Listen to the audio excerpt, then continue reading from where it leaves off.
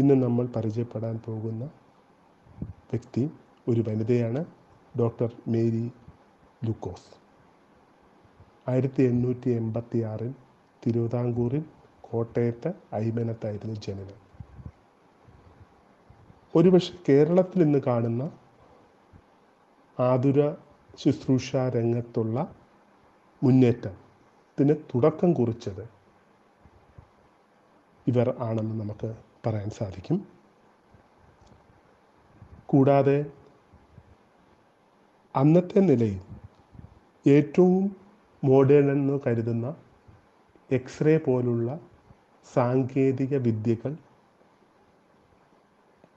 തിരുവിതാംകൂറിലേക്ക് കൊണ്ടുവരുന്നതിന് അവർക്ക് സാധിച്ചു എന്നുള്ളതും അവരുടെ നേട്ടത്തിന്റെ മാറ്റുകൂട്ടും. നമുക്ക് ഇവരെക്കുറിച്ച് പഠിക്കുമ്പോൾ നമ്മൾ മനസ്സിലാക്കേണ്ട ഒരു കാര്യം. അന്നത്തെ സാമൂഹ്യ ചുറ്റുപാടുകൾ ലോകമാകമാനമുള്ള സാമൂഹ്യ ചുറ്റുപാടുകളിൽ മനുഷ്യനെ വേർതിരിക്കുന്ന നിയമങ്ങളും പ്രത്യേകിച്ചും സ്ത്രീകളോടുള്ള അവഗണനയും വളരെ സ്വാഭാവികമായി തന്നെ എല്ലാ സമൂഹങ്ങളിലും നിലനിന്നിരുന്ന കാലഘട്ടമാണ്. നമ്മുടെ രാജ്യവും അതിൽ നിന്നും ഒട്ടും വിഭിന്നമല്ലായിരുന്നു. അതുകൊണ്ട് തന്നെ ഡിഗ്രിക്ക് പഠിക്കാൻ സയൻസ് എടുക്കാൻ ഇവർക്ക് സാധിച്ചില്ല. ഡിഗ്രി കഴിഞ്ഞപ്പോൾ അതുകൊണ്ട് തന്നെ അവർ ആർട്സ് എടുത്ത് പഠിക്കേണ്ടി വന്നു. തുടർന്ന് വൈദ്യശാസ്ത്ര പഠനം നടത്താൻ ഇന്ത്യയിൽ വീണ്ടും വനിതകൾക്ക് സാഹചര്യമില്ലായിരുന്നു അനുവാദമില്ലായിരുന്നു. അതുകൊണ്ട് ഇംഗ്ലണ്ടിൽ പോയി. ഇംഗ്ലണ്ടിൽ അവരെ പൊതുവെ ജനങ്ങൾ എല്ലാം വളരെ അത്ഭുതത്തോടെയാണ് കണ്ടത്. നമ്മൾ മനസ്സിലാക്കണം വീട് വിട്ട് പുതിയ രാജ്യം പഠിക്കേണ്ട സയൻസ് അതുവരെ പഠിച്ചത് ആർട്സാണ് ആഹാരങ്ങൾ വ്യത്യസ്തം ഇങ്ങനെ കാലാവസ്ഥ കാലാവസ്ഥ വ്യത്യസ്തം. ഇങ്ങനെ എല്ലാ പ്രതികൂല സാഹചര്യങ്ങളിലും തരണം ചെയ്ത് അവരവിടെ പഠിക്കുകയും അവിടെയുള്ള പാവങ്ങളെ ശുശ്രൂഷിക്കുന്നതിന് ഉത്സാഹം കാണിക്കുകയും പാവങ്ങൾക്ക് സാമ്പത്തിക സഹായം കൊടുക്കുന്നവരെ നിലയിൽ വരെ അവർ പ്രവർത്തന അവരുടെ പ്രവർത്തനങ്ങൾ ഇംഗ്ലണ്ടിൽ തന്നെ മുന്നോട്ട് പോയി. ആയിരത്തി തൊള്ളായിരത്തി പതിനാറിൽ അവരുടെ അച്ഛൻ മരിക്കുന്ന മരിക്കുകയും തിരിച്ച് ഇന്ത്യയിലേക്ക് വരികയാണ് ഉണ്ടായത്. അന്ന് തിരുവിതാംകൂറിലുള്ള വുമൺ തിരുവിതാംകൂറിലെ തിരുവനന്തപുരത്ത് വുമൺ ആൻഡ് ചിൽഡ്രൻ തൈക്കാടുള്ള ഹോസ്പിറ്റലിൽ അവർ ജോയിൻ ചെയ്തു. അവിടെ അന്നത്തെ വയറ്റാട്ടികൾ എന്ന് പറയുന്ന ഗ്രാമങ്ങളിലുള്ള മിഡ് പ്രസവം എടുക്കുന്ന നേഴ്സുമാരുടെ മക്കൾക്ക് നൂതന രീതിയിലുള്ള വൈദ്യശാസ്ത്ര ട്രെയിനിങ് അവർ നൽകുകയും മിഡ് വൈഫ്സ് ട്രെയിനിങ് അവർ നൽകുകയും അതുവഴി സാധാരണക്കാരായ ഗ്രാമങ്ങളിലുള്ള തിരുവിതാംകൂറിലുള്ളവർക്ക് ഏറ്റവും നൂതനമായ വൈദ്യശാസ്ത്ര സേവനങ്ങൾ ലഭ്യമാക്കി കൊടുക്കുന്നതിന് അവർക്ക് സാധിച്ചു എന്നുള്ളതാണ്. അവർ രാജ്ഞിയുടെ ഡോക്ടറായിരുന്നു.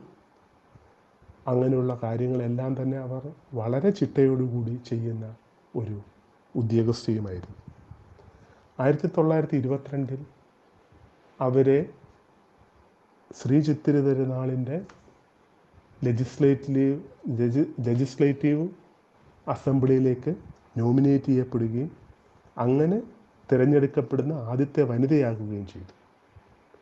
അത് പറയുമ്പോൾ മദ്രാസ് യൂണിവേഴ്സിറ്റിയിൽ അവർ ഇന്ത്യയിൽ പഠിക്കുമ്പോൾ ഗ്രാജുവേഷൻ ചെയ്ത ആദ്യ വനിതയായിരുന്നു അവർ.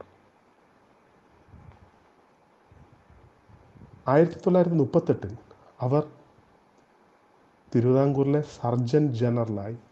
അതായത് ഇവിടെയുള്ള എല്ലാവിധ പ്രൈവറ്റ് ഗവൺമെന്റ് ഹോസ്പിറ്റലുകളുടെ ചുമതല വഹിക്കുന്ന ഉദ്യോഗസ്ഥയായി മാറി. അങ്ങനെ മാറുന്ന ലോകത്തെ തന്നെ ആദ്യത്തെ വനിതയായിരുന്നു അവർ.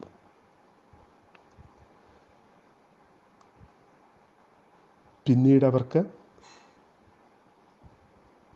രാജ്യം പത്മശ്രീ നൽകിയും രാജാവ് വൈദ്യശാസ്ത്ര കുശല എന്ന് പറയുന്ന സ്ഥാനപ്പേര് നൽകി ആദരിച്ചു.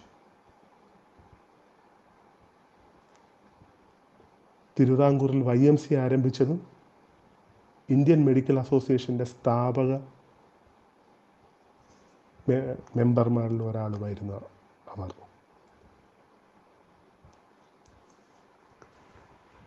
സാധാരണഗതിയിൽ വീട്ടിലെ സാഹചര്യം വെച്ചിട്ട്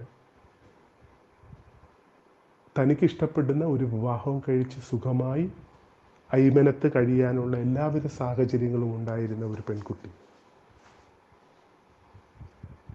തന്റെ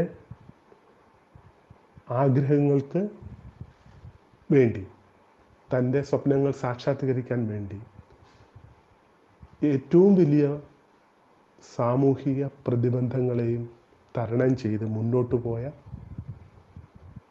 നമ്മളെ നമുക്കെല്ലാം ഇപ്പോൾ കിട്ടുന്ന ആതുര സേവനത്തിന്റെ ആദ്യ മാതൃക തിരുവിതാംകൂറിൽ കാണിച്ചു നൽകുകയും ചെയ്ത സേവന സന്നദ്ധയായ ഒരു ധീര വനിത തന്നെയായിരുന്നു മേരി ലൂക്കോസ്.